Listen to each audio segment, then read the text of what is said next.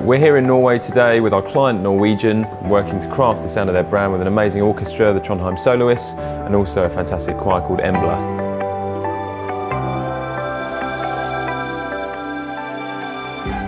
So the real challenge is that this project is going to be a piece of music that the brand use for the next 5, 10, 15, 20 years and into the future. So for us it's all about creating music that's timeless and means as much today as it does tomorrow. I think the whole process of being here, working for a global brand and being with local musicians is just what Norwegian is all about, I guess. And, and uh, was looking at a lot of imagery from in and around Norway and about the kind of uh, shape that some of the hills and some of the fjords had here. And I wanted to have a melody that reflected that to some extent.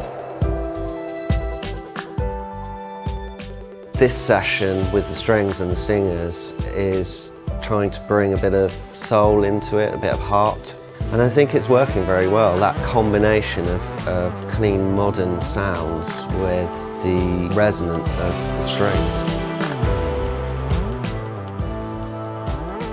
We wanted the music to be a little bit challenging and also to be flexible and adaptable because we are not just an airline, we have other brands and other businesses and therefore what we develop needs to be able to adapt to those situations just as we as an airline adapt very quickly to changing environmental um, and global situations with the business. Adelphoi's relationship with Norwegian is only going to go from strength to strength. Today is a really important part of that process and I know that we're crafting something that will be truly iconic for years to come.